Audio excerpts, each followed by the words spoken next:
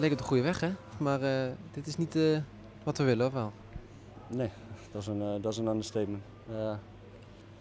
Ja, wat je zegt, ik had het idee dat we op de, op de goede weg waren. Maar ja, dus, na die 1-0-1 dan, dan heb je er weinig meer aan. Maar dan, dan versla je de, Volendam met zulke grote cijfers en dan ga je tegen de kop lopen, maar net in de laatste minuut de boot in. En dan, dan denk je, nou, MPV thuis, dit is de wedstrijd van de ommekeer. Ja, maar goed, dat vroeg je me de dag voor de wedstrijd ook al op die manier. En eh, toen zei ik al van, nou, dat zal het eh, voor ons niet worden. En dat is ook wel gebleken. Maar eh, ja, ik, had wel goed, ik had wel vertrouwen dat we deze wedstrijd zouden gaan winnen. En eigenlijk ook na de 0-1, dan heb je nog 45 minuten. Maar ja, het is niet gelukt. Wat ontbrak er dan aan vandaag? In ieder geval dat we niet meer gescoord hebben dan zij hebben gedaan. En ja, verder, we hebben niet heel veel gecreëerd. En dat, ja, dat, dat schoort het eraan. Nee, maar ik bedoel, het, is, ja, het, leek weer de goede kant op te gaan. En dan, eh, dan, dan is die eerste helft, dan eh, zie je ja, weinig voetbal, eh, weinig kansen. Moet je dan in de rust niet denken van, nou, we moeten er even opklappen, want zo, zo gaat het niet. Nee, daar heb je ook wel gelijk in. Alleen, ja, het is niet, is geen excuus, maar het is niet even makkelijk als een tegenstander je de eerste 60 meter van het veld zo'n beetje gratis geeft. En dan moet je er maar doorheen gaan voetballen. En, en dat hebben we niet goed gedaan, dat is duidelijk. Maar dat wil niet zeggen dat, dat je daar even zo, eh, zo doorheen speelt. En daarvoor zijn een aantal dingen nodig en daar hebben we niet, eh, niet genoeg in gebracht. En dan, ja, dan, eh, dan krijgen ze een wedstrijd als deze. Maar MPV heeft ook volgens mij buiten de goal eigenlijk geen, niet, geen echt grote kansen gehad. Maar dan is toch bij één, goal, bij één kans eigenlijk al raak. Ik wou dat het een keer voor ons zo was. Dat zou ook wel eens lekker zijn. Ja, maar ik bedoel, dan is het ook, ja, ik, ik, ik weet niet, scherpte, om, ja, ontbrak er wel een beetje aan het vond ik. Het- Ik vond, eh, zeker als je dan eh, die, laatste half uur, dan moet je er echt met z'n allen voor gaan. Maar er zijn weinig kansen uit voortgekomen, denk ik. Ja, dat gaf ik net ook al aan. We hebben te weinig gecreëerd daarin. Alleen, eh, ja, je zegt scherpte, dat, dat, zou je bij iedereen afzonderlijk af moeten gaan. Want ja, ik vind het makkelijk om dat soort dingen te gaan, te gaan roepen en te gaan zeggen. Weet je, dat, ja, dat, dat vind ik te makkelijk. Dan ga je met het veld af eh, met, een, eh, met een schuimje kapot en een, een gefluit en zo. Dat is, moet ook niet, ook niet fijn zijn voor jullie. Nee, daarvoor voetbal je niet, dat lijkt me duidelijk. Dus eh, ja, dat, daar hebben we mee te maken. En, en ik snap de, de boosheid en de frustratie wel van de sporters, dat leeft ook bij ons. Dus, dus ja, nogmaals, dat is, dat is niet fijn.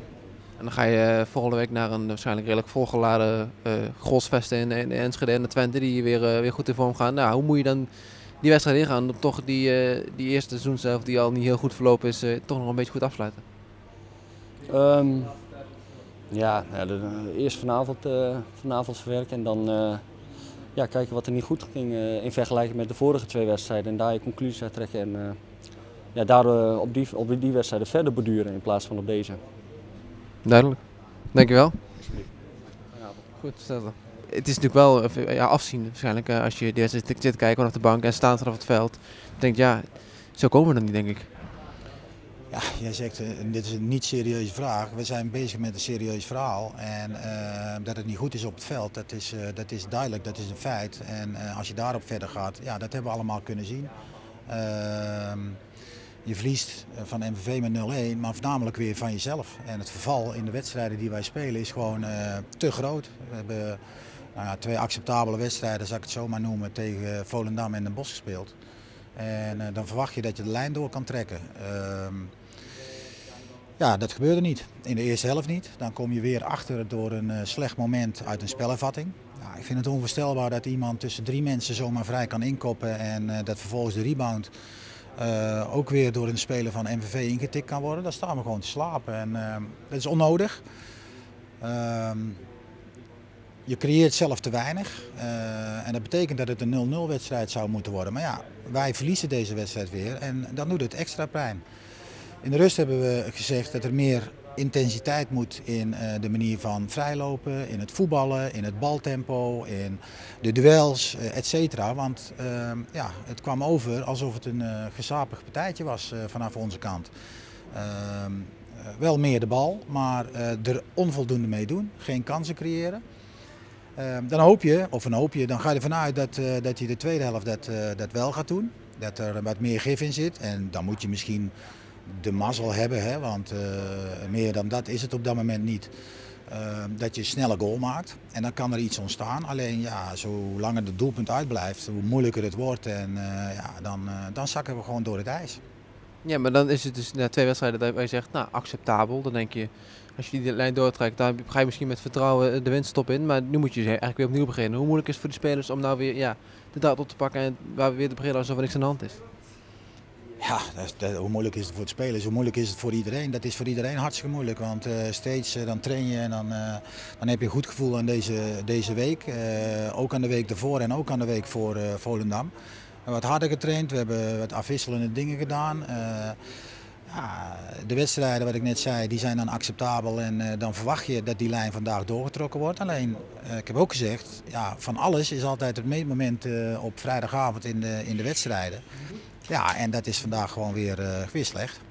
Ja, dan breng je Sabak in uh, na, een, uh, na een dik uur.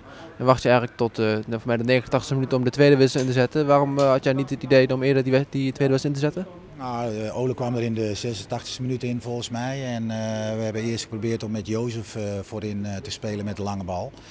Uh, wij speelden op dat moment volgens mij nog met, met drie verdedigers. En ja, om dan nog weer een aanvaller erin te gaan brengen, dan, dan blijf je met twee verdedigers over. En dan ben je de balans kwijt in het voetbal. En, dus vandaar dat we wat langer gewacht hebben. Dat is een keuze. Dan ja, Twente, dat is een ploeg die inmiddels wel weer in vorm is. En ja, ook uh, op de, de titel. hoe ga je daar die wedstrijd in? De uitwedstrijd, vol bepakt, Gosvesten. Dat moet het ongetwijfeld lastig zijn voor jou om ja, toch weer die, die goede, goede reeks proberen op te pakken. Nou, ik heb eerlijk gezegd nog niet over Twente nagedacht. Ik denk dat we eerst maar moeten kijken wat er vanavond allemaal nou mis is gegaan. En ja, van daaruit weer naar, naar Twente gaan kijken. En dat is altijd zo. Ja, dan hoor je dus het eind van de wedstrijd weer gefluit en een schaam je kapot en dergelijke. Dan, ja, hoe, hoe is die, die sfeer nou bij jou en bij, bij de staf en bij de spelers? Sfeer. Je merkt dat het, uh, dat het publiek uh, in ieder geval uh, daarop reageert, op het slechte resultaat. En dat is in, in dit geval gewoon terecht, want je wilt met z'n allen de laatste wedstrijd in het kalenderjaar nou, in ieder geval winnend afsluiten en, en het publiek wat laten zien.